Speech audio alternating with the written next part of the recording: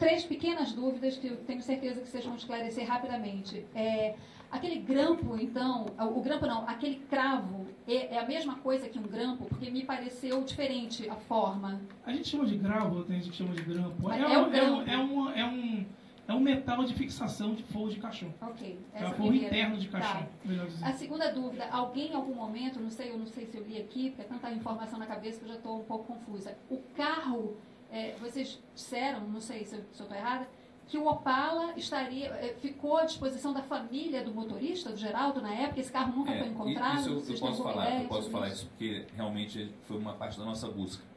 O que, que acontece? Foram duas liberações. A primeira liberação ocorreu no primeiro processo da apelação, da apelação antes da apelação criminal. A apelação criminal foi depois que saiu o resultado, a primeira sentença. Na realidade, só, só contexto, é, essa apelação criminal é, é o processo contra quem? Contra o, o, o Josias, o motorista do ônibus. Motorista ele do foi, ônibus, ele foi absolvido. Ou seja, houve um processo contra o motorista do ônibus e foi nesse processo que se produziu parte dessas provas que foram utilizadas aqui. É, e o que, que acontece? Em 96, foi solicitado novamente a liberação desse veículo. E o juiz concedeu é, eu, aí a gente tem que fazer um trabalho, de certa forma, de investigador também. A gente entrou em contato com a família do motorista, exatamente para que ela informasse para a gente o que, que aconteceu com aquilo ali. Porque o veículo estava liberado para a família. E aí foi informado, isso aí é, é, a partir daí que a gente vê o, o porquê do, do, carro ter deteriorado. O carro foi liberado para a família, a família consultou a família do ex-presidente, a dona Sara ela não tinha interesse no carro e a família do Geraldo também não tinha interesse no carro. O carro ficou no pátio de Resende, de, naquela época, desde o acidente até o momento que a gente foi procurar. Então, quando foi feito aquele exame que é citado no laudo aqui, o carro já estava totalmente deteriorado, inclusive pessoas já tinham levado parte desse veículo, segundo informações que a gente tinha. Ok, obrigada. E a última dúvida, então, eu só queria entender direito em que contexto esse perito Antônio Carlos de Minas aparece nessa história e dá essa declaração de que há esse orifício. Se ele não, é, não fazia parte da equipe oficial que investigava o assunto, quer dizer, de onde, de onde ele aparece, por que, que ele fala isso, e quando vocês conversaram com ele, qual foi a explicação que ele deu? Não, não, ele, ele tem um contato com, com o Serafim Jardim, né, que é da, da ele, ele, é, ele é da casa do Celino Kubitschek, mas na época ele era secretário de governo do Azeredo, Eduardo Azeredo, em Minas Gerais. E segundo informações do, passadas pelo senhor Alberto Carlos de Minas, ele foi orientado a participar dos trabalhos para verificar se existia alguma falha no procedimento. E à época, assim, na, na verdade, essa função de verificar a falha do procedimento, se ele verificou isso à época, ele não repassou para, o, para os, as autoridades que disseram para ele lá. Então foi essa informação que a gente teve dele. Infelizmente, a gente não conseguiu documento nenhum comprovando essa participação oficial dele. Então ele aparece é, nas investigações que a gente tem também, ele não é reconhecido por pessoas no local, pelos peritos companheiros dele, ele não é reconhecido. Ele não reconhece um fotógrafo que foi o fotógrafo oficial da exumação. Então eu não tenho como falar sobre ele. Eu acho que a gente tem como falar o que ele, ele disse pra gente, que ele foi. É, que ele, ele disse realmente que ele participou a pedido do secretário, à época secretário do, do Eduardo Azeredo, que fez essa consulta para ele. Mas só, só para é, e só para precisar, é, no, no laudo o laudo se encerra na página 37, em seguida, anexo 1, é justamente alguns trechos da oitiva de Alberto Carlos de Minas. E na primeira página desse anexo, então, nas páginas, na primeira e na segunda, tem brevemente uma, um posicionamento do, daquele perito que mostra isso. Ele não foi testemunha, isso é importante, do acidente. Ele foi testemunha da exumação que foi feita em 1996, né? quando então trabalhava junto ao governo do estado como perito e lá então acompanhou não como um perito oficial, mas como testemunha pela pelo governo do estado do, da exumação que estava sendo feita e daí vem os seus depoimentos. Né? Mas houve o cuidado de ouvi-lo. Bem, eu, eu, gostaria inicialmente de me identificar. Eu sou Gil Castelo Branco, eu sou filho do então diretor do Departamento Técnico-Científico da Polícia do Rio de Janeiro. Em primeiro lugar, eu gostaria de cumprimentar aos membros da comissão, a pessoa do Dr. Pedro Dalari, Dr. José Paulo Cavalcante Filho, mas muito especialmente aos peritos, ao Mauro, ao Pedro Cunha, também ao Dr. Celso, Ricardo Castrioto e Sal Martins. Eu acabei tendo um contato até maior com o Dr. Mauro em algumas circunstâncias. Né? É, eu acompanho esse caso, portanto, desde que eu tinha 24 anos de idade.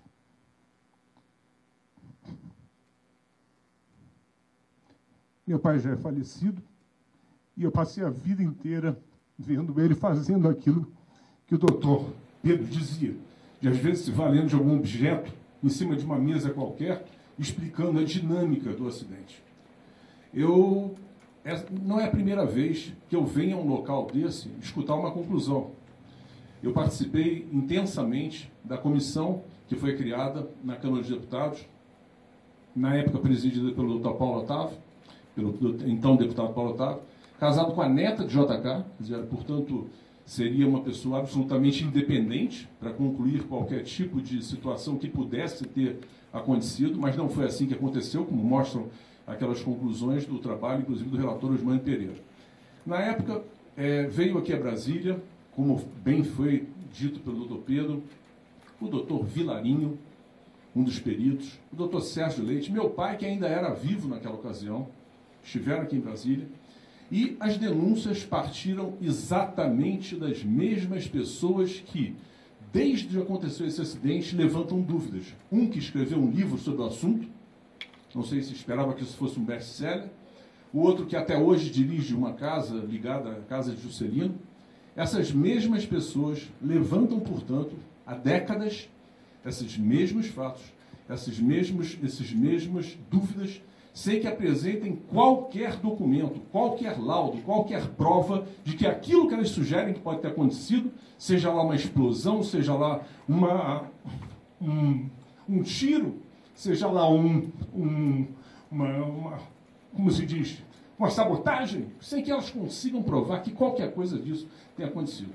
Há, há mais de 30 anos, portanto, essas pessoas distratam peritos honrados que participaram e que à época fizeram um laudo que eu posso talvez aqui contar com a concordância. Vocês imaginam um laudo desse em 1976. Se hoje a polícia tem dificuldades, vocês podem imaginar isso em 1976, em que o perito lá de Resende, e que levanta essas dúvidas, por que, que o perito de Resende foi depois complementado por um outro, porque o perito não tinha nenhuma lanterna em Resende. E o acidente tinha sido já o que, que acontece? Baseado nisso, tem uma afirmação de que não seria o mesmo veículo. Só que isso não procede. Por quê? Porque quando você vai fazer uma justaposição desses veículos, eu vou mostrar isso para vocês, você vê que a coincidência de avarias, é, é, é, a identidade dessas avarias impedem que seja um outro veículo. Então, aquilo lá é muito claro, aquilo lá é uma coisa é material, você não tem como produzir. Eu, eu não tenho conhecimento disso, se alguém tiver, em, porque as, as, condições do acidente de trânsito elas são particulares. Então, é um segundo de diferença, você vai ter uma deformação, um segundo de velocidade, você vai ter uma deformação diferente da outra. Então, quando você faz uma, uma sobreposição dessas imagens, você vê que é o mesmo veículo. E aí você pesquisa, pô, por que, que essa lanterna quebrou? E você consegue exatamente uma imagem que está mostrando o, o carro sendo guinchado pelaquela região do veículo. Então, esse cuidado, a gente ter que, que acontece? Baseado nisso, tem uma afirmação de que não seria o mesmo veículo. Só que isso não procede. Por quê? Porque quando você vai fazer uma justaposição desses veículos, eu vou mostrar isso para vocês, você vê que a coincidência de avarias, é, é, é, a identidade dessas avarias impedem que seja um outro veículo. Então, aquilo lá é muito claro, aquilo lá é uma coisa é material, você não tem como produzir. Eu, eu não tenho conhecimento disso, se alguém tiver, em, porque as, as, condições do acidente de trânsito elas são particulares. Então, é um segundo de diferença, você vai ter uma deformação, um segundo de velocidade, você vai ter uma deformação diferente da outra. Então, quando você faz uma, uma sobreposição dessas imagens, você vê que é o mesmo veículo. E aí você pesquisa, pô, por que, que essa lanterna quebrou? E você consegue exatamente uma imagem que está mostrando o, o carro sendo guinchado pelaquela região do veículo. Então, esse cuidado a gente teve. Por quê? Porque a gente está acostumado a trabalhar com prova técnica, prova material. Então, eu posso falar pelo nosso trabalho. Nosso trabalho foi baseado nesse, nesse tipo. É o seguinte, nós temos uma gravação feita pela jornalista do Contas Abertas, a Tiele, falando com o doutor Natalim, perguntando se ele conhecia a comissão de 2000. E ele tem gravado dizendo que não conhecia. A Tiele aqui é testemunha. Conversando com o doutor, com o chefe do gabinete, perguntando por que, que eles não tinham ouvido o depoimento dessas pessoas, que era o doutor Sérgio Leite, doutor Vilarinho, doutor Márcio, nós temos gravado essa informação do seguinte, porque eles já morreram. Então eu quero deixar claro o seguinte aqui, eu quero cumprimentar a comissão, mas quero cumprimentar especialmente os peritos que puderam recompor esse caso mais uma vez. E eu espero que dessa vez seja definitiva, que meu pai que está lá em cima durma tranquilo, sem uma preocupação de que novamente meia dúzia de pessoas vai levantar uma série de leviandades e irresponsabilidades em relação à história do Brasil. Era só isso. Muito obrigado, doutor Gustavo Branco. Mas a, a, algo que é importante precisar é o seguinte: é evidente que nós, da Comissão Nacional da Verdade, sabemos que quase todos os assuntos que a gente está examinando estão submetidos a uma contextualização política e a muitas vezes uh, um, um, enquadramento que decorre de posições políticas ou ideológicas, mas isso não é relevante para nós, né? ou seja, não é relevante para nós. A gente tem tido cuidado de, independentemente da eventual motivação né, que esteja por detrás dos elementos que estão trazidos à comissão, de considerar todos os elementos que são trazidos. Não é? Porque é, é, é fundamental que uh, o, o, trabalho feito pela comissão uh, esteja fundado uh, no maior rigor. Né? E se nós deixamos de considerar, por, por eventual vício de origem, algum tipo de informação, isto pode contaminar o nosso trabalho.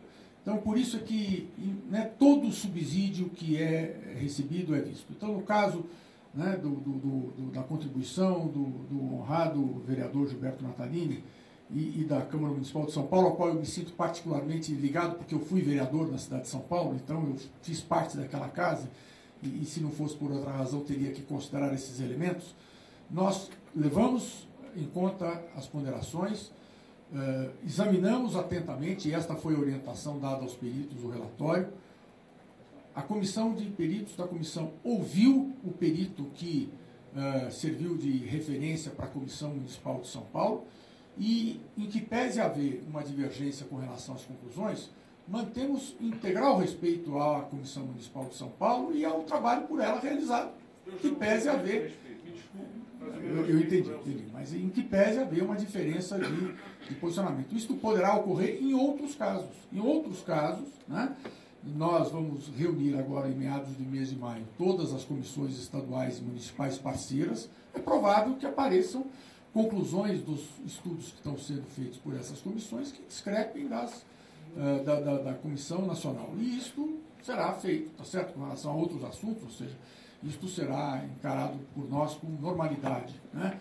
É, é, a essa, essa momento da história, passado já muitas décadas dos fatos, é a posição que nós entendemos mais responsável é, nesse momento. Né? Mas eu agradeço muito a, a sua, sua, sua manifestação de respaldo à nossa equipe de peritos, porque realmente é uma equipe que nós temos enorme segurança e aprendemos a ter muita admiração por essa equipe, que tem nos ajudado muito. Na semana que vem vamos divulgar mais um relatório preliminar de pesquisa, desta feita sobre o caso do Rio Centro, vai ser no Rio de Janeiro, e esta equipe tem nos ajudado também no caso do Rio Centro, ou seja, nós temos tido a preocupação de procurar fundamentar o máximo possível os nossos pedidos. Quando apresentamos, por exemplo, o primeiro relatório preliminar de pesquisa que envolvia o pedido ao ministro da Defesa de instauração de comissões de sindicância para investigação né, eh, de centros de tortura das Forças Armadas, fomos à Universidade de São Paulo pedir o parecer de dois eminentes professores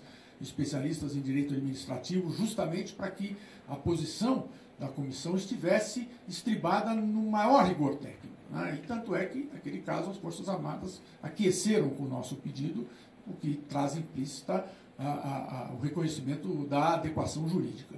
Então, este cuidado é importante. Continua aberta a palavra. Eu gostaria de fazer uma Eu pergunta. enxergo mal aqui. Ah, pois não. É, que vai um pouco de encontro ao que vocês estão falando. Ah, esse, depois dessa conclusão, o que, que acontece agora? Esse laudo vai ser divulgado publicamente? Vai ser levado à presidência da República? Qual que é o procedimento? Esse laudo ah, vai ser divulgado publicamente, ele está sendo divulgado em primeiro lugar aqui para esta, esta plateia, mas já estará hoje no final da tarde no site. Nós criamos, inclusive, no site agora, vocês podem acompanhar, da Comissão Nacional de Pesquisa, até um íconezinho sobre relatórios de pesquisa, e todos os relatórios estão lá. Então, neste caso, não só vai ser divulgado o relatório preliminar de pesquisa, mas o laudo produzido pela nossa equipe de peritos e também um outro laudo produzido por um outro perito, a que eu fiz ah, menção ah, no começo, o, o- que é colaborador né, ah, da nossa comissão, o perito criminal Wagner Gonçalves, que também ah, traz elementos importantes. né? Então, todos esses documentos vão ser ah, ah, publicizados, ou seja, estão só para corrigir, é, não é o perito é o subprocurador da Desculpa, República desculpa, Eu aposentado, chamei, tá certo. é, doutor Wagner Gonçalves, ele produziu um documento. é, isso aí é interessante porque é um documento que não é um documento como o nosso laudo. O nosso laudo é um laudo pericial que trata de prova material.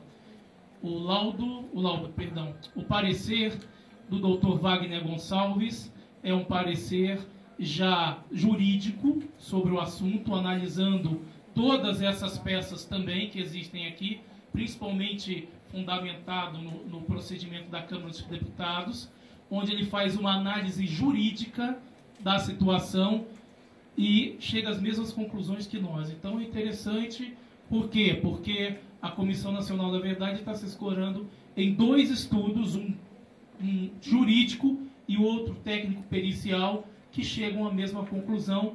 E ambos os estudos estarão, juntamente com o, o- O relatório o relatório preliminar, no site agora à tarde, a partir do momento que a gente terminar aqui, a gente vai espetar pendrive lá e vai, e vai disponibilizar. A segunda parte da sua questão. Quando a comissão eh, Vladimir Herzog, da Câmara Municipal de São Paulo, eh, concluiu o seu relatório, ela o encaminhou à presidenta da República com a solicitação de que fossem adotadas as providências para alteração da causa oficial da morte do ex-presidente da República, de tal maneira que fosse proclamado oficialmente os assassinatos de Juscelino Kubitschek e Geraldo Ribeiro. Em termos práticos, isso significa alterar o atestado de óbito, né, que é algo que a comissão tem preocupação em casos em que o atestado de óbito, por exemplo, aponta suicídio, e obviamente não foi suicídio, é uma providência importante. A presidência da República, né, através de eh, memorando da diretora de gestão interna, encaminhou este, esta solicitação para eh, conhecimento né, eh, da Comissão Nacional da Verdade e a fim de que a Comissão Nacional da Verdade examinasse esse expediente. Portanto, eh, não só o relatório da Comissão Municipal de São Paulo veio à Comissão Nacional da Verdade diretamente por entrega feita a mim pelo vereador Gilberto Natalini, mas por intermédio da Presidência da República.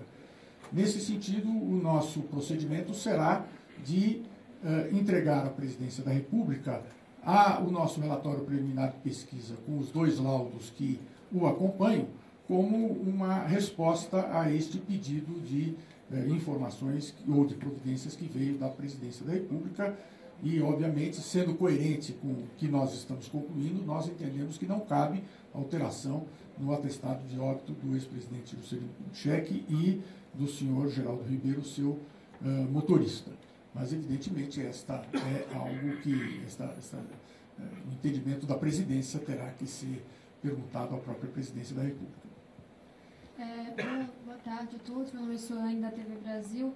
É só complementando em relação a essa questão feita, então, é, o, a denominação de relatório preliminar se deve ao fato de que ele ainda vai para uma outra instância ou que ainda cabe alguma alteração? A minha questão era essa, que eu imaginei que fosse... Não, a, a lei, a lei estabelece que cabe à Comissão Nacional da Verdade produzir um relatório né, conclusivo das suas, das suas atividades e da sua investigação.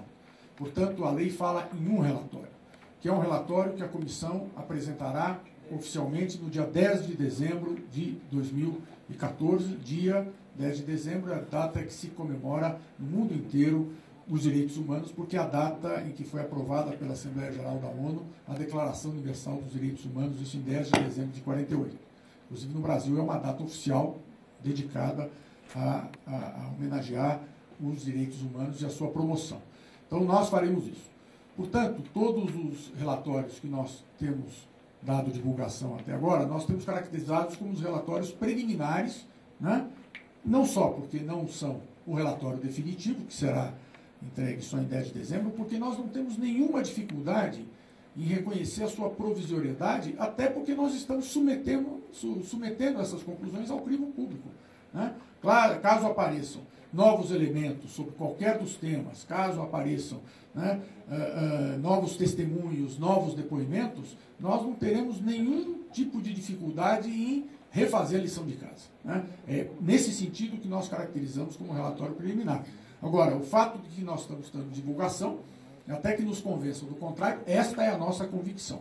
Então, com relação ao, à especulação em torno da, da, da, eventual morte uh, do presidente Juscelino Kubitschek, de seu motorista, por outra razão que não fosse um acidente, nós estamos convencidos de que foi um acidente a causa uh, da morte e fazemos, expressamos essa convicção por força do minucioso, rigoroso estudo pericial que foi feito por nossa equipe.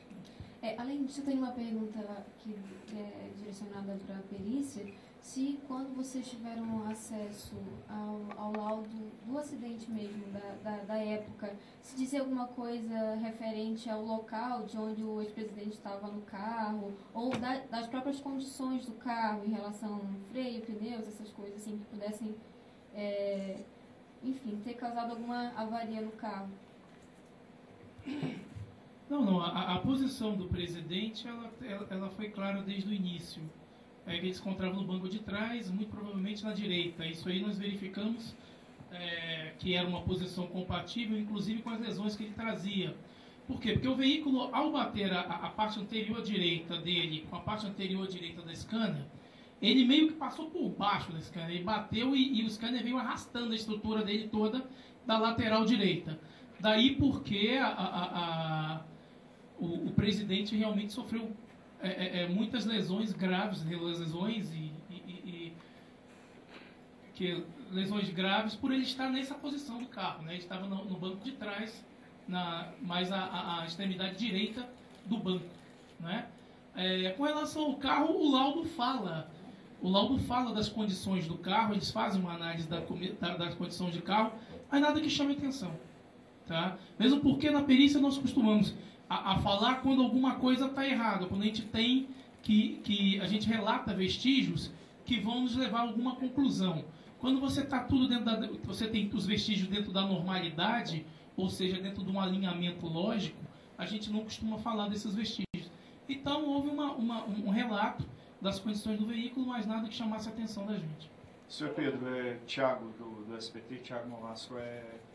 eu sei que vocês não querem polemizar, senhor mesmo, coordenador. É, a gente sabe que vocês não querem polemizar com a Comissão de São Paulo, mas a, as versões de um assunto extremamente importante para a nossa história são completamente diferentes. É, o senhor apontaria que fato para a Comissão de São Paulo ter tido uma visão completamente diferente do, dessa história, né? E de que teria sido um assassinato e não um acidente? Não tenho nenhuma razão para duvidar da integridade e da boa-fé dos meus colegas vereadores da Câmara Municipal de São Paulo. Portanto, a minha conclusão é que eles chegaram ao entendimento que chegaram por força do exame de um conjunto de documentos ou de elementos que a eles pareceu indicar aquela conclusão. Né?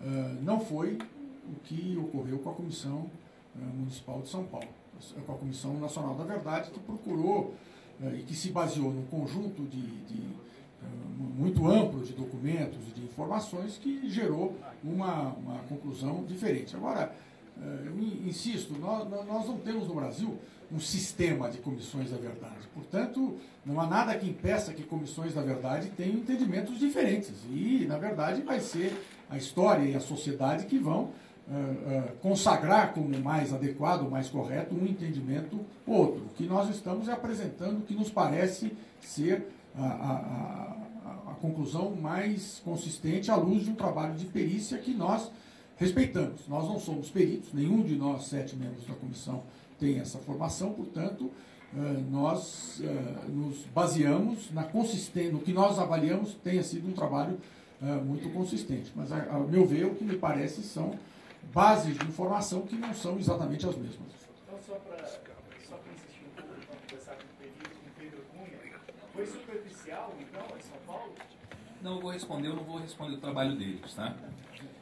Mas eu vou te explicar uma coisa que você vai conseguir entender. Se eu considerar que uma coisa desapareceu e fizer uma série de hipóteses baseada nessa coisa que desapareceu, e essa coisa que desapareceu depois ficou constatada que não desapareceu, você vai entender o que eu estou te falando. Eles fizeram algumas análises baseadas em coisas que disseram que desapareceu e que na verdade não desapareceu. E assim, eu não tenho como explicar o porquê disso. Eu tenho que explicar que no nosso caso a gente fez análise no que apareceu. Ponto. Isso está claro. Está claro, está tá claro e não só está claro, como na, na página 4 do laudo, a gente publica a cadeia de provas e documentos que existem nesse caso. Se você quiser chegar amanhã para fazer sua reportagem lá no, no SBT, lá no Museu da Justiça, onde a gente indicar aqui, vai estar tá lá. Tá?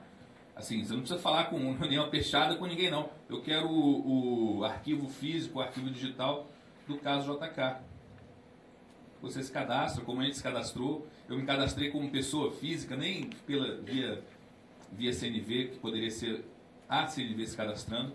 Então, eu posso te dizer isso. Se eu considerar que uma coisa desapareceu e ela não desapareceu, e fizer uma série de argumentações em cima dessa coisa que desapareceu e depois ela aparecer, isso fica um pouco truncado. eu só insisto na minha pergunta de uma forma clara. Uhum. Foi superficial?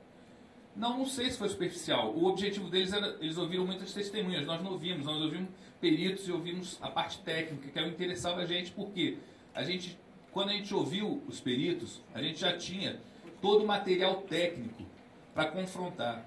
Todos os peritos que a gente ouviu, a gente ouviu com conhecimento técnico do que aconteceu. Então, por exemplo, se ele fosse dar uma explicação, qualquer um dos peritos, de uma coisa que aconteceu no local, a gente ia saber se aquilo era verdade ou não. Então, é diferente você se preparar tecnicamente para uma oitiva. Tá? Doutor Dalari, Juliana do Portal G1, aqui do outro lado. Ali, é o seguinte, o relatório de vocês é baseado em indícios materiais, mas a Comissão Municipal de São Paulo ouviu o motorista do ônibus, o senhor Josias, e ele afirma que recebeu uma proposta, é, foram dois homens conversar com ele com malas de dinheiro para que ele assumisse a culpa pelo acidente e ele se diz inocente. Eu queria saber se, com base nessas conclusões que a comissão chegou com nesse, nessa perícia, vocês vão ouvir o motorista novamente? Vocês têm alguma versão sobre essa história de homens com mala de dinheiro para que ele assumisse a autoria? Tem alguma coisa que vai ser feito com relação a essa história que ele conta depois dessas conclusões a que a comissão chegou? Veja, eu vou passar para o Pedro para responder, mas eu acho que ficou claro na, na finalidade dele. Nossa, uh, o objetivo da comissão não foi investigar o acidente em si, foi investigar se havia elementos né, relacionados ao acidente que pudessem fazer com que a tese do acidente fosse abandonada em lugar da adoção da tese do homicídio doloso. Essa era a finalidade. Né? E, e, por isso, como disse uh, o Pedro e os colegas peritos, a, a, a, a, causa direta do acidente, qual era a posição do Opala, qual era a posição do ônibus, é menos relevante né, em relação a isso, tá certo? Já que o objetivo era, era verificar a plausibilidade da tese do homicídio doloso e isto não uh, se comprovou, tá certo? E de maneira uh, não a levar em consideração uh, um contexto político que pudesse ensejar N tipos diferentes de posição, de condutas ou de posturas por razões que não nos cabe analisar, né? mas pela conclusão baseada na análise dos elementos fáticos, das do, do, das provas, dos laudos, dos documentos, dos objetos, eh, do carro, do ônibus, da, da, da, do Scania, do fragmento de metal, da caixa craniana, ou seja, esta foi a preocupação e esta tem sido a orientação da comissão. Nós temos muito cuidado para não deixar que uh, injunções uh, políticas, as mais legítimas e as mais defensáveis ou não, elas interfiram na finalidade da comissão, que é produzir um quadro fático consistente. Né?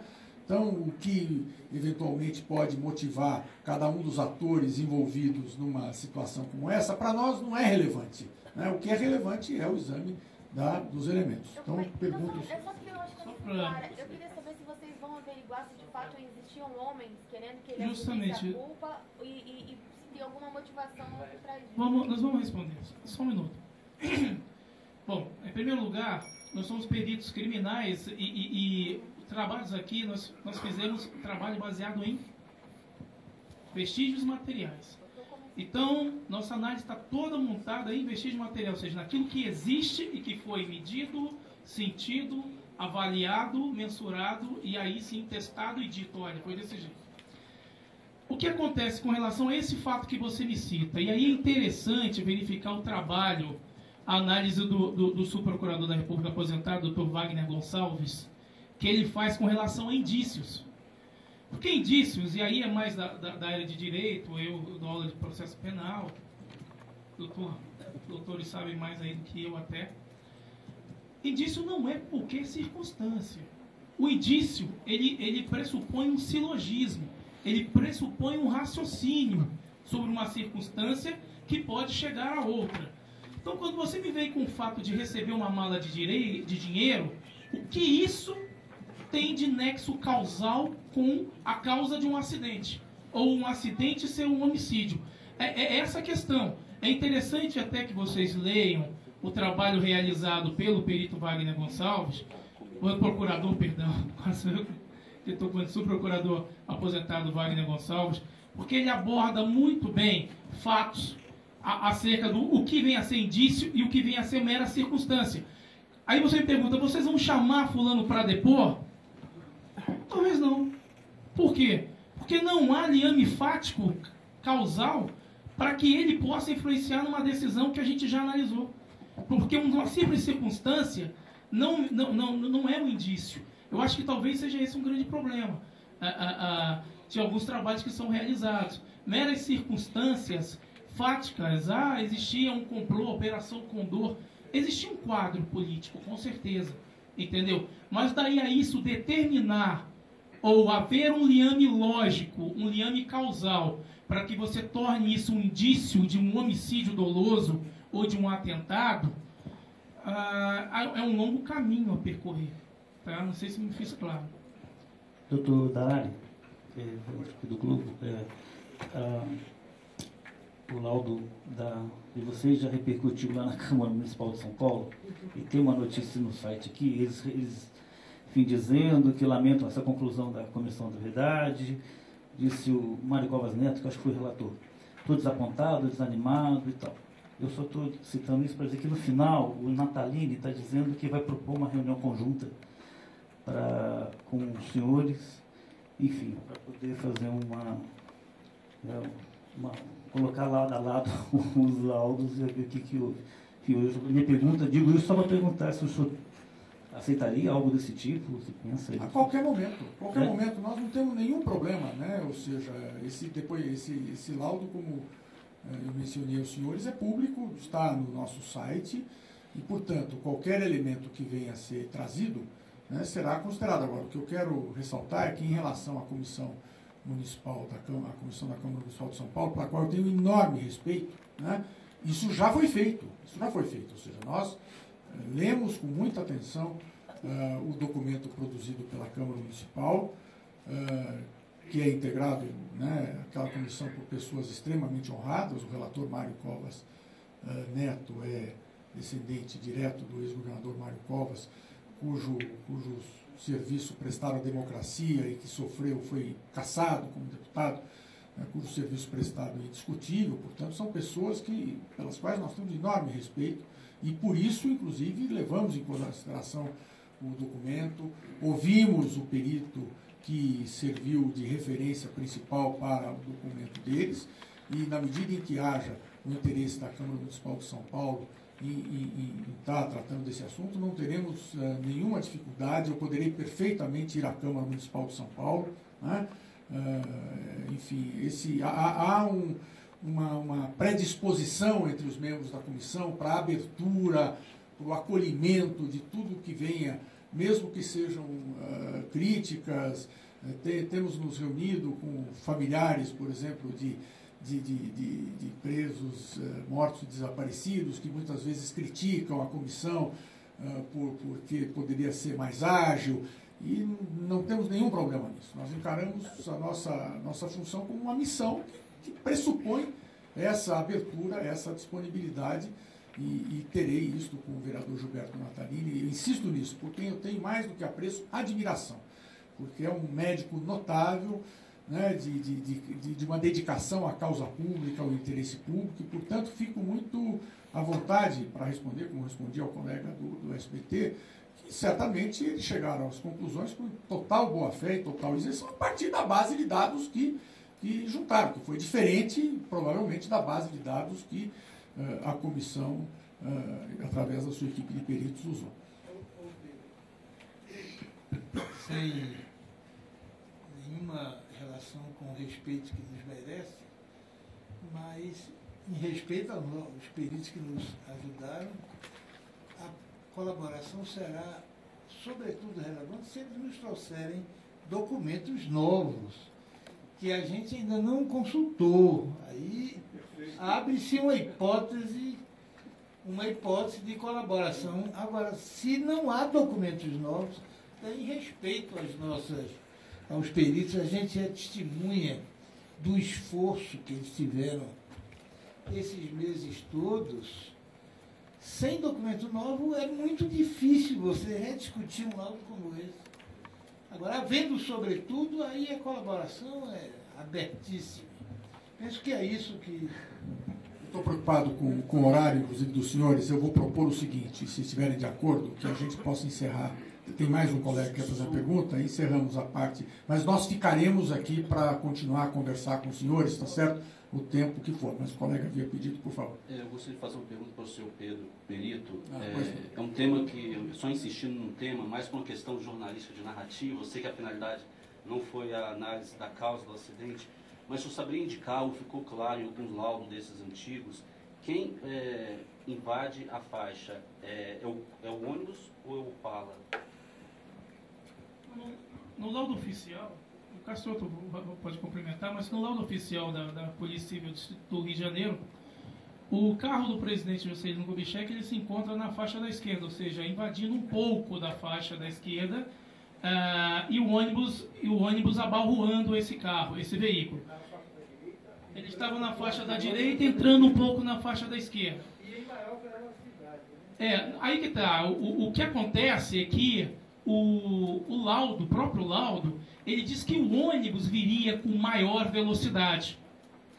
Viria com maior velocidade e, portanto, seria o causador do, do acidente. Não é?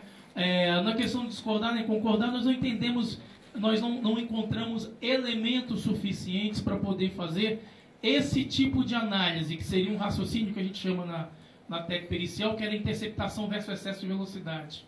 Nós não, nós não entendemos elementos para fazer isso. Mesmo porque nós temos duas sedes de avaria nesse veículo.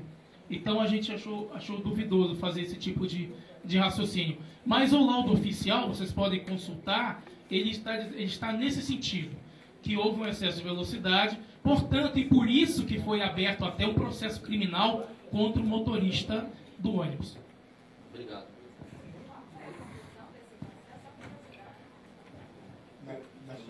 processo criminal contra o motorista do ônibus? Justamente, o processo criminal entendeu que não ficou claro, essa, por esses motivos, não ficou claro a, a culpa do motorista do ônibus. Por isso ele foi absolvido por falta de provas. Foi absolvido por falta de provas.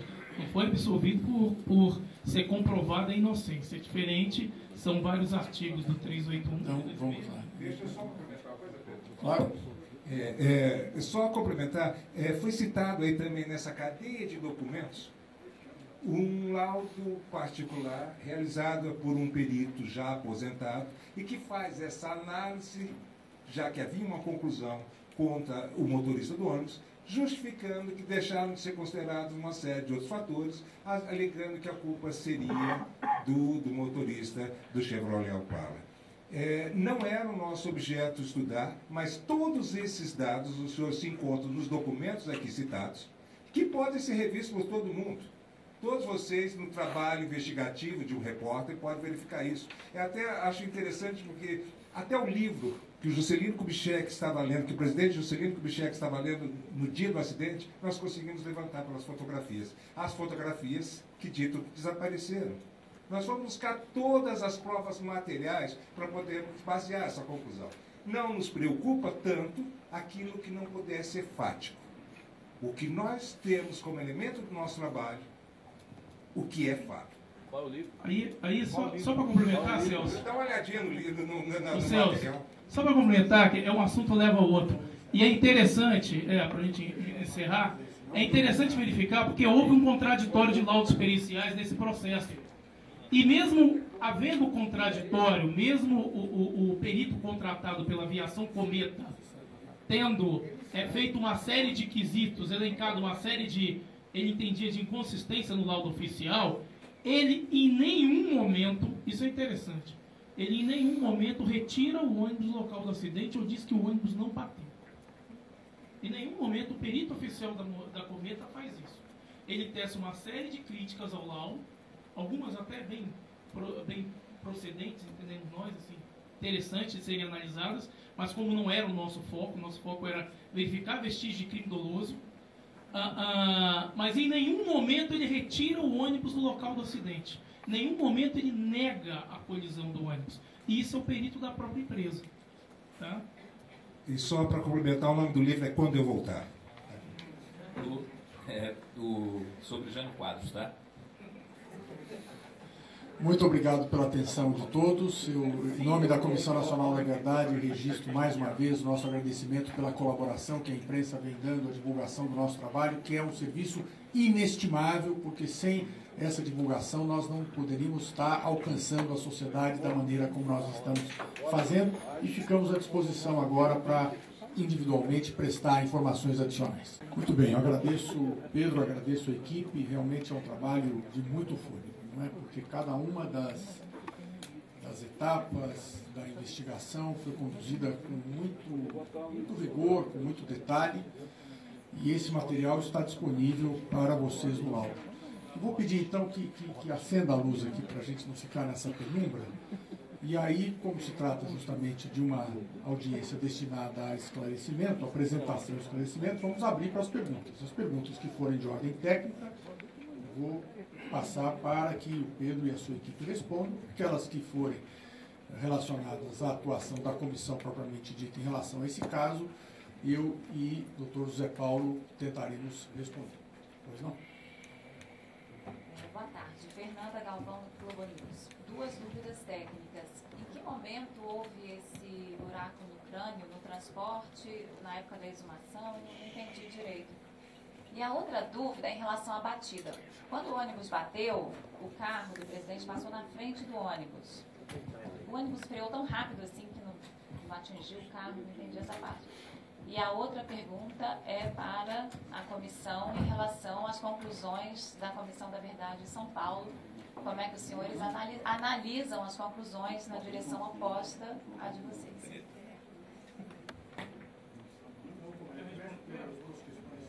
Então, a primeira resposta, o, o, essa fratura no crânio se deu no transporte, depois de ter tirado o, o, o crânio. Porque, como você pode, pode ter visto naquela fotografia do Jornal do Estado de Minas, eles retiraram o crânio e mostraram para os peritos oficiais que estavam ao redor. Né? Inclusive, eles até não permitiam o olhar de outra pessoa que tivesse fora. Isso em 96. Isso em 96. 1996, da exumação a pedido do Ministério Público de Resende. 14 de agosto de 96. 14 de agosto de 96. Então, a, a, ao retirar o crânio, ele, ele retirou o crânio e depois pôs na, na, na, na urna ossuária, né? Que era uma urna, se não me engano, até de plástico. De né? plástico, era uma urna. No transporte houve essa fratura. Porque, a, a, principalmente com 20 anos, você tem um osso extremamente frágil. Quando tirou, não tinha. Tá, tá vivo. A fotografia é clara do, do estado de Minas. Quando tirou, não havia. Né? Ah, E continuou não havendo do lado esquerdo. A fratura ficou só do lado direito. Mesmo assim, o doutor Márcio remontou. Ele grudou os pedacinhos, verificou não haver orifício e ainda mandou esses fragmentos para uma análise química. E aí ele teve a certeza que realmente foi uma fratura. Porque, inclusive, aí foi a hora que eu falei das bordas, as bordas eram brancas da fratura. Uma borda branca é a mesma coisa que você riscar. Você pega um papel e risca ele, passa um pincel atômico nele, e depois, e depois você rasga. Você vai ver que a bordinha é branca, embora ele esteja pintado. A mesma coisa que aconteceu com o crânio. Mas quando o senhor Né? fala em transporte, então é transporte do cemitério. No cemitério até o, até o Instituto Médico Legal para ser examinado, tá? Para ser analisado. Né? Isso acontece, viu, gente? A gente, a gente aqui na Comissão Nacional da Verdade, a gente faz muitas exumações, ou melhor, nós como peritos acompanhamos, né? É, quem realiza mais são os- os médicos legistas, mas nós acompanhamos.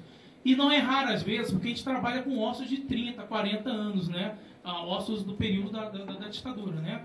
Ou seja, pessoas mortas em 65, de 65 até 75, 80. Então não é raro, na hora que você vai tirar um osso, principalmente ossos, né? Mas, mas chapas ósseas, você quebrar alguma coisa. Às vezes até uma hora que você tira, tá tão fininho que ela quebra, né? A segunda que você falou foi do, do veículo, né? Bom, a- é- esse é um problema que a gente, veja só, a gente não entrou muito na dinâmica do acidente. Ah, nós temos caracterizado que o ônibus colidiu com o carro, com, com o gêmeo Opala. Isso está mais do que comprovado ah, ah, por tudo que foi demonstrado, pelo sincronismo, pela presença do ônibus naquele momento, por, por- não só por testemunhos, mas pela, pela justa posição, né, pela localização das avarias, pela recenticidade das avarias e também pelos exames químicos. Ah, ah, agora, o que acontece? O momento, nós não temos definidos no laudo, nós não verificamos esse ponto de colisão, propriamente dito. Então, a gente não sabe exatamente o momento que houve esse, essa, esse toque. Né? A gente sabe que houve esse toque, e aí pode ser tranquilamente, o ônibus está vindo com a velocidade maior do que o Opala, ele encosta no Opala e freia. Ele encosta, acopla e freia. Quando ele freia, o Opala passa. Isso aí são situações tranquilamente é, é, explicáveis, não tem problema nenhum. O que nós não tivemos foi realmente uma situação caracterizada. Por isso que a gente nem se manifesta muito nessa, nessa dinâmica do acidente. Né? Quem encostou em quem, Não, encostar, não toque. Você toca, freia e o carro passa. É, você, você, não- você cai do carro, você às vezes está vindo, você percebeu, putz, encostei. Entendeu? Você encosta, você freia. Encostou, freou. Se você encostar de jeito, o carro vai. Justamente. Você vê, você já está tirando uma conclusão. Nós não gostamos de tirar conclusões porque a gente só trabalha com elemento material. Por isso que eu não tiro essas conclusões. Uma explicação. Ah, sim. Oi, boa tarde. É, o negócio é o seguinte, é, vamos colocar só de uma maneira assim, simples para o pessoal entender. Esse ônibus, na época, eles, não sei porquê, eles se atentaram muito da velocidade do ônibus. Então o que acontece? Segundo o perito local, ele fez a análise do ônibus, mas ele em nenhum momento naquele laudo ele fala sobre a velocidade do Opala. O Opala, gente, ele estava com velocidade superior do ônibus. Por isso, quando o ônibus emite a frenagem, ele bate de lateral, ele dá uma derivação, perde o controle na pista, que aqui as fotos não estão boas, ele dá uma derrapagem, vai ao canteiro central e o senhor Geraldo Ribeiro ainda tenta voltar para consertar esse carro. Agora, por que motivo não deram a velocidade do carro? Ele estava superior, tanto é que ele leva a carreta Scania, apesar do motorista ter derivado para a direita tentando sair, ele leva, ele joga muito essa carreta Scania, estava com 30 toneladas em relação ao Opala. Então a velocidade desse Opala é muito grande, maior do que a do ônibus. Foi dito 80 quilômetros aqui, eu acho, não foi? A do que? Do ônibus? Do Opala? Não. Do, do Pedro, acho que foi. A, nós, nós fizemos uma série de hipóteses aqui, até para ficar mais ilustrativo. Da medida que esse Opala derrapa, são poucos metros, até entrar no meio-fio do canteiro e adentrar outra pista, ele percorre, segundo o perito fez no curso, ele percorre 40 e poucos metros. Gente, só para ter uma ideia, com 80 km por hora, a velocidade do Opala está maior. Por isso que a gente, a 80 km por hora, vamos transformar esse 80 km por hora em metros por segundo. Esse acidente ocorreu em 2 segundos, porque 80 km por hora você anda 22,22 ,22 metros em 1 um segundo. Então, quando a gente fala assim, 1, um, 2, foi o tempo que o ex-presidente morreu.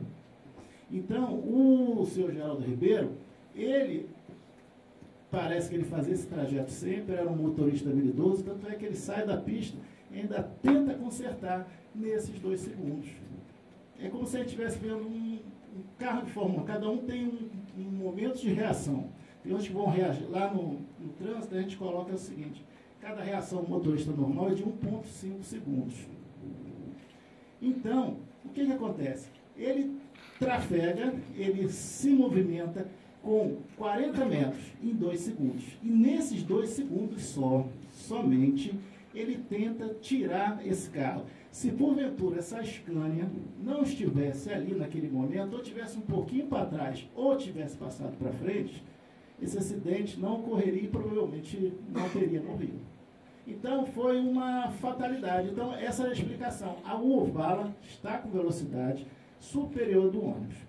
E no primeiro laudo, lá em 1976, não se constata isso. Aí, para a gente não fazer essa, essa delonga de cálculo, o que, que nós avaliamos? Poxa, é, ele não tinha, o, não foi constatado no crânio dele que ele tivesse é, sido alvejado. Então vamos analisar porque o acidente ocorreu. Então, é só, é só para enfatizar de novo. 20, 40 metros, gente, a gente numa velocidade de 80 km por hora, que é a pista do nosso eixão, a gente anda em 2 segundos. É que a gente não percebe. Quando a gente fala quilômetro por hora, hora é muito tempo, né? Mas quando a gente fala 44 metros em 2 segundos, se passa muito rápido. E foi o que aconteceu nesse acidente. 44 metros e eles perderam a vida.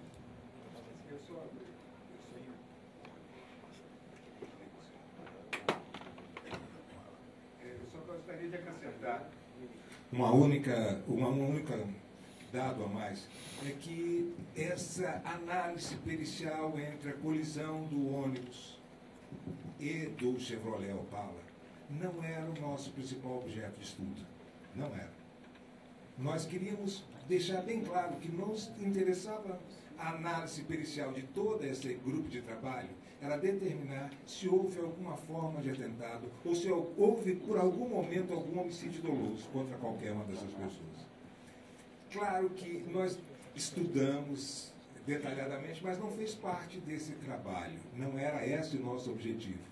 É, e uma coisa bem clara que eu acho que é mais interessante é essa reação do senhor Geraldo tentando sobreviver àquela situação de perigo iminente ele diante daquele caminhão que ele vinha, ele ainda tenta corrigir e tenta passar naquele espaço pequeno que existia, e isso sofre a colusão, porque não existia espaço suficiente para isso. Mas nessa fração de segundo, ele ainda reage, e é um sinal de vida, é um sinal de consciência, é um sinal que ele tenta reagir e retirar tanto ele quanto o presidente Juscelino Kubitschek daquela situação de perigo. Muito bem, sobre a questão, então, do, da Comissão de São Paulo. Nós temos tido uma colaboração muito importante da Comissão Municipal de São Paulo, que na verdade é uma comissão constituída na Câmara Municipal de São Paulo, que homenageia o jornalista Vladimir Herzog, dando o nome de Vladimir Herzog a ela. Seu presidente, o vereador Gilberto Natalini, é uma figura admirável, sofreu vítima de, de, de tortura na época da ditadura, inclusive seu depoimento, que foi colhido pela comissão, inclusive com a minha presença, a, na sessão em que em dezembro do ano passado foi tomado o depoimento do delegado Calandra é muito importante e, portanto, tão logo nós recebemos o relatório da Comissão da Verdade Vladimir Herzog, da Câmara Municipal de São Paulo, imediatamente a minha orientação foi no sentido de que os, a nossa equipe de peritos examinasse com muita atenção o relatório e que aquele relatório fosse utilizado, inclusive, como uma referência para testar as hipóteses de trabalho da nossa comissão. Isto foi feito, e mais do que isso, inclusive, houve cuidado da equipe de peritos de tomar o depoimento, uma parte dele está reproduzida no laudo que vocês têm em mão, do perito criminal Alberto Carlos de Minas, que, embora não tenha atuado oficialmente no caso, acompanhou como testemunha e cujo depoimento é a principal base de informações da Comissão Municipal da Verdade Vladimir Herzog. Quando entregamos esse depoimento, esse, esse relatório à comissão, eh, a nossa equipe de peritos, evidentemente não demos a ela nenhuma orientação que não fosse levar em consideração os aspectos técnicos. A nossa equipe de peritos trabalhou com esse documento, colheu o depoimento do perito Alberto Carlos de Minas, mas não se convenceu dos argumentos apresentados pela Comissão eh, Municipal de São Paulo e com base em todo esse levantamento, todo esse estudo muito minucioso que foi apresentado a vocês, mantém a sua convicção de que se tratou de um acidente. De toda maneira, enfim, a, a, o relatório da Comissão Nacional da Verdade, que agora é trazido a público, será disponibilizado uh, na, uh, no site da comissão, estará à disposição de todo tipo de crítica, de análise, e nós não teremos nenhuma dificuldade se eventualmente uh, for apontada alguma imprecisão, alguma incorreção, algum reexame que, se, se tenha que ser feito, de refazê-lo. Né? Mas nós, membros da comissão, temos ouvido né, o, o, os, os estudos e, e, tido contato com os estudos da nossa equipe de peritos, nós estamos muito seguros de que esse estudo é muito consistente e de que está muito bem embasado. E eu faço apenas uma observação, depois os senhores poderão ler o estudo feito pela Câmara Municipal de São Paulo, que o, fundamento, a base eh, do estudo da Câmara Municipal de São Paulo, ademais da circunstância, de análise das circunstâncias políticas que poderiam ser invocadas para explicar a hipótese de assassinato do presidente Juscelino Kubitschek, mas o centro da argumentação está justamente naquele fragmento metálico que foi encontrado dentro do crânio de Geraldo Ribeiro e que, segundo uh, o perito criminal Alberto Carlos de Minas, pode ter feito parte de projétil de arma de fogo. Então, essa é a essência e, uh, quando então uh, questionada sobre esse aspecto, a nossa equipe de peritos fez um exame muito apurado para mostrar a, a, absoluta impropriedade desta uh, relação entre aquele fragmento e um projétil de arma de fogo. E por isso nós uh, estamos muito seguros desse laudo, mas temos enorme respeito pela Comissão uh, Municipal de São Paulo e, e, e, evidentemente, não temos por que deixar de considerar todos os subsídios que vêm dela e das outras comissões parceiras. O que não significa é. que nós tenhamos acordo em todos os, os, os campos. Queria aproveitar, porque as minhas perguntas têm a ver com o que a Fernanda perguntou anteriormente. Então, com relação ao trabalho da Comissão de São Paulo, só para ficar bem claro, é, o trabalho da Comissão de São Paulo, então, é baseado unicamente em testemunhos. Eles não tiveram acesso a nenhum, de, a nada desse material que foi analisado por esses cinco peritos agora. É isso que distingue basicamente essa a conclusão da CNV da conclusão da Comissão de São Paulo, e por isso as conclusões são contraditórios? Veja, se eu puder, vou pedir até para o Pedro complementar. Se eu puder complementar a pergunta da colega, doutor Pedro. É, o, o, o laudo de São Paulo falou em, em cerca de 90 indícios que apontariam para a tese do, do assassinato, do, do, enfim, do que tenha sido. Se o, um dos peritos também puder, poderia comentar também que outras impropriedades teriam encontrado além da, do projetil. Veja, o, eu vou pedir até para o Pedro tecnicamente complementar.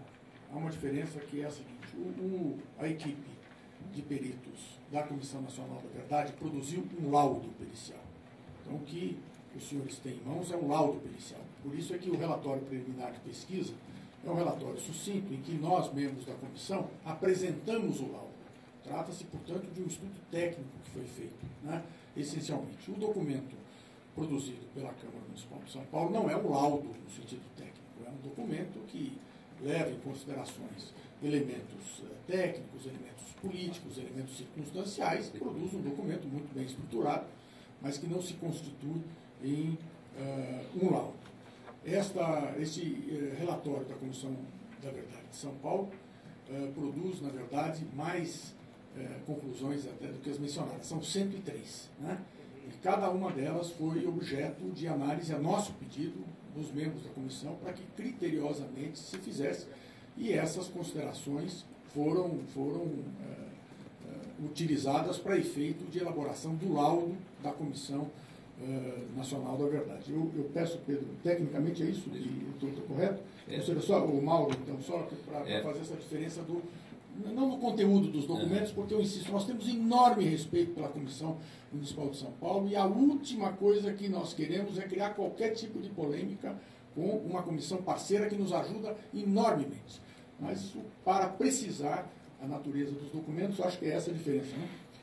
É, o, o que, que acontece? A gente, a gente buscou, desde o começo, doutor Pedro, é, trazer elementos materiais para cá. Né? O, laudo, o laudo nosso ele é feito é, visando realmente a análise de elementos materiais. O, o relatório de São Paulo foi, foi lido, foi analisado, foi estudado por nós. Ele traz realmente informações que não são, não são técnicas, técnico-periciais. O que, que acontece? Você tem, você tem que ter muito cuidado quando vai analisar um documento desse, até para não ser injusto com, como o doutor Pedro falou, com a comissão que é parceira. Mas o que, que acontece? Algumas coisas têm que ser ditas. O acesso aos documentos que a gente teve, eles tiveram também, só que com uma diferença. A nossa visão é pericial. O, cravo do caixão, ele estava no material que foi encaminhado para São Paulo. Só que o que, que acontece? É, eu vou, vou, dar um exemplo, um exemplo meu quando eu trabalho com a criminalística, com, com um projeto de arma de fogo. Você encaminha para a justiça, ele é etiquetado, lacrado, assinado, para quê? Para que siga uma cadeia de custódia. Isso vai para a justiça, isso fica arquivado junto com o processo. Um caso de repercussão desse nível, ele ficou arquivado no Museu da Justiça do Rio de Janeiro. E quando eles tiveram acesso ao arquivo digital, realmente a imagem, aquela imagem que a gente mostra do envelope, ela consta exatamente no arquivo digital. Então, o que, que a gente teve cuidado? De ter acesso a esse, esse envelope para ver se realmente o, o cravo se encontrava lá.